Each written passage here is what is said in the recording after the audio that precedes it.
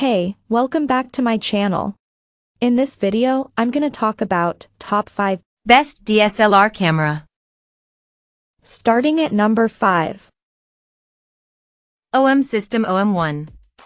Not everyone needs a full-frame camera, and like the Fujifilm X-T4, the OM System OM1 harnesses the benefits of its smaller sensor to create a compelling alternative for photographers who prioritize size, versatility, and a fun handheld experience. Thanks to its new stacked Micro Four Thirds sensor, which is the first of its kind, and a speedy TruePic X processor, the OM1 performed admirably in most our tests. Quite simply, it's the one of the most enjoyable cameras you can buy. We found that the OM1 performed well up to ISO 1600 and had slightly less aggressive noise reduction than its Olympus-made predecessors. Its computational modes are also the best you'll find outside a smartphone, with the likes of high residential shot, live North Dakota and in-camera focus stacking going some way to compensating for its smaller sensor. On the downside, its autofocus tracking isn't quite up to the level of Canon or Sony, and the controls can be a little fiddly. That 20MP resolution also isn't huge for a camera of this price. But if you can overlook those drawbacks, then the OM1, and its huge range of micro four thirds lenses, will make a fine companion. Coming at number 4. Fujifilm X-T5. If you're in the market for a hybrid all-rounder, you should look elsewhere. While the Fujifilm X-T5 can record lovely 6.2K footage, photography is its focus, and that's where it excels. Deploying the same 40.2 MP APS-C sensor and X processor 5 as the Fujifilm X-H2, it delivers images of near-identical quality. If you're upgrading from an older XT model, you'll also notice the benefits of in-body image stabilization, superior battery life and Fujifilm's latest subject detection autofocus, even if the latter can't compete with Sony and Canon's latest efforts. Form factor also sets the X-T5 apart. We found its reduced dimensions reminiscent of the X-T1, making it a small, lightweight tool that's perfect for everyday shooting. Its controls are also photog-friendly, with retro dials for ISO, shutter speed, and exposure, plus a three-way tilting touchscreen that works better than a vari-angle for framing stills. Yes, the APS-C sensor limits low light performance, while a modest buffer isn't ideal for action snappers. But its marriage of performance and convenient form makes the X-T5 our favorite mirrorless camera for hobbyists. At number 3. Canon EOS R10. It isn't the cheapest camera for beginners, but we think the Canon EOS R10 is the now best option for those starting their photographic journey. Spiritual successor to Canon's popular mid-range DSLRs, the EOS R10 has two standout skills, impressive, subject tracking autofocus and speedy 15 frames per second burst shooting, which was previously unheard of at this price.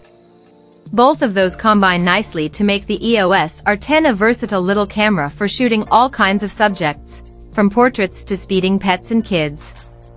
During our autofocus testing, which we conducted on cats, deer, and a speedy cockapoodle, the R10 found and tracked the subject's eyes very well, with the 15 frames per second burst speeds producing a decent hit rate.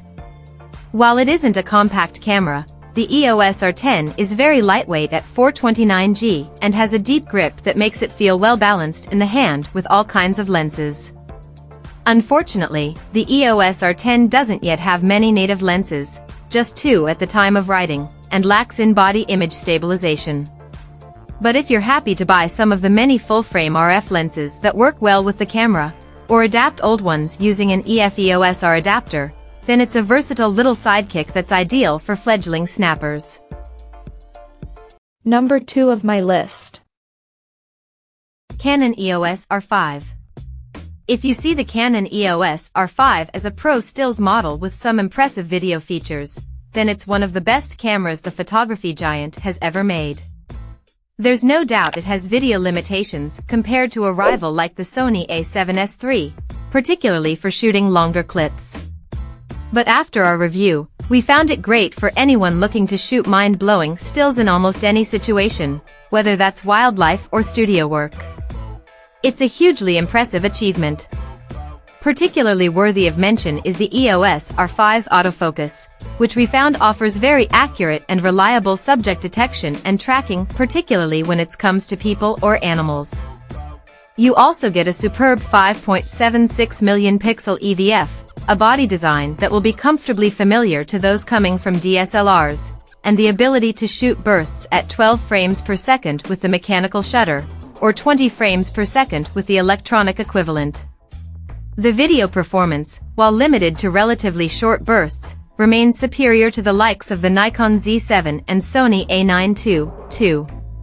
With a growing collection of, albeit pricey, RF lenses, the Canon EOS R5 is the next-gen mirrorless camera that pro photographers have been waiting for. And number 1. Sony a7 IV. Following Sony's fantastic a7 III was never going to be easy, but the a7 IV is a worthy successor. Equipped with a new 33MP sensor that's solid for both stills and video, it's a compelling mirrorless option for hybrid shooters.